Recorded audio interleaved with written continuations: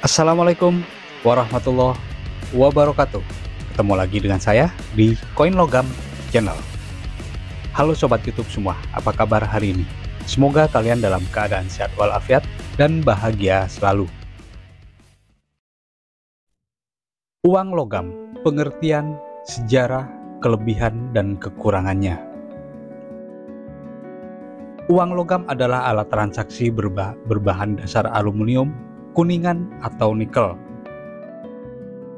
Uang logam ini biasanya digunakan untuk transaksi dengan nominal kecil. Nah, uang logam sebenarnya telah mulai digunakan sejak dahulu kala. Bagaimana sejarah uang logam? Apa saja ciri-ciri uang logam beserta kelebihan dan kekurangannya. Yuk, simak video saya selengkapnya, jangan di skip. Seperti biasa sebelum saya lanjutkan alangkah baiknya like, subscribe, dan komen. Nyalakan juga loncengnya agar tidak ketinggalan informasi seputar uang koin dan uang kertas dari berbagai negara di dunia. Terima kasih. Apa itu uang logam? Uang logam adalah alat pembayaran yang memiliki nominal lebih kecil daripada uang kertas. Nominal uang logam biasanya dimulai dari Rp100, Rp200, Rp500 hingga Rp1.000. Bahan dasar uang logam adalah aluminium, kuningan, dan nikel. Nah, ketiga bahan tersebut memiliki karakteristik tersendiri. Misalnya, uang logam berbahan dasar aluminium berbobot lebih ringan daripada nikel dan kuningan.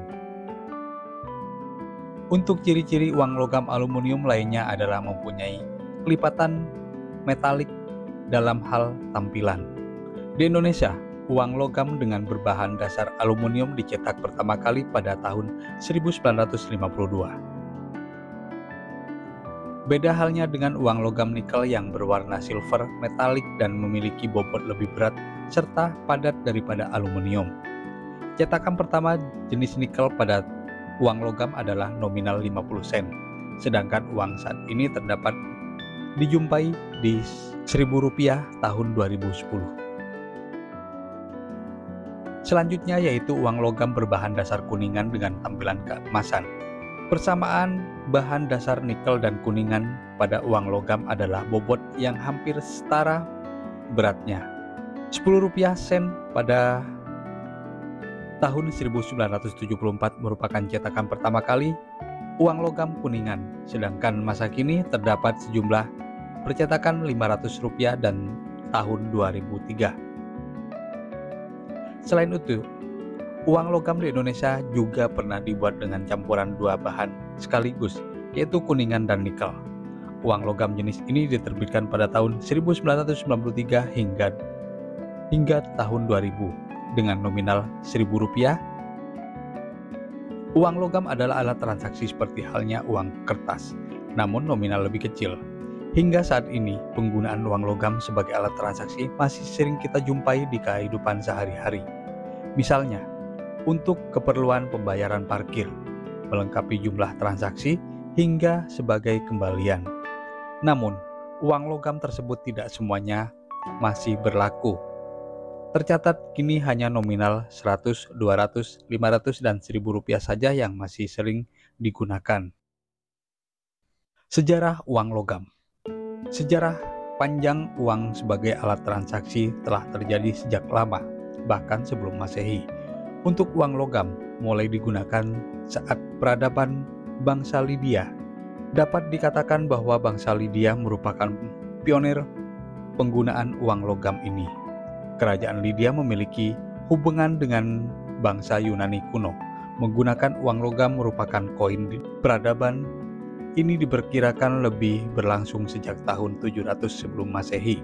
Uang logam bangsa Lydia dibuat dari elektrum, yaitu campuran bahan emas dan perak. Kombinasi bahan dasar alami dari emas dan perak tersebut menghasilkan warna kuning muda dan pada koin bangsa Lydia. Selain bangsa Lydia, sejarah penggunaan uang logam juga ditemukan di Pulau Aegina, Yunani. Uang logam merupakan koin ini mulai digunakan oleh penduduk Pulau Aegina sejak tahun 700 sampai 500 sebelum Masehi.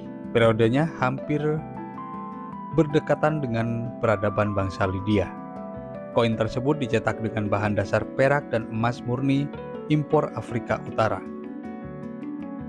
Seiring perkembangan zaman, bahan dasar uang koin tidak hanya dari emas atau perak saja, namun tembaga atau logam lainnya agar lebih kuat.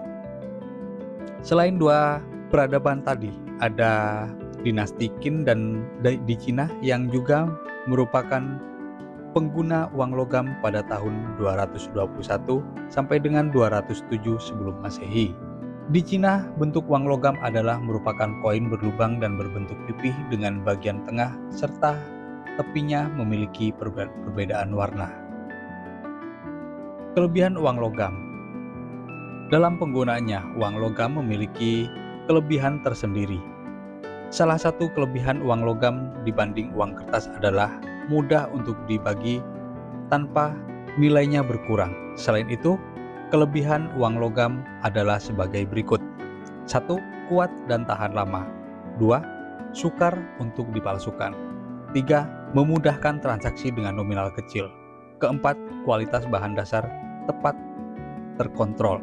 5. Tidak mudah hilang karena pasti akan berbunyi dan memiliki bobot lebih berat. Kekurangan uang logam Selain kelebihan, uang logam juga mempunyai kekurangan yang wajib sobat YouTube semua ketahui. Kekurangan uang logam adalah sebagai berikut. 1. Memiliki bobot lebih berat daripada uang kertas. 2. Tidak praktis. 3. Biaya produksi cenderung mahal. 4. Merepotkan saat membawa uang logam dalam jumlah banyak. Demikian informasi uang logam pengertian sejarah, kelebihan, dan kekurangannya. Semoga informasi ini bermanfaat untuk sobat YouTube semua. Jangan lupa like, subscribe, dan komen. Nyalakan juga loncengnya agar tidak ketinggalan informasi seputar uang koin dan uang kertas dari berbagai negara di dunia. Terima kasih. Wassalamualaikum warahmatullahi wabarakatuh.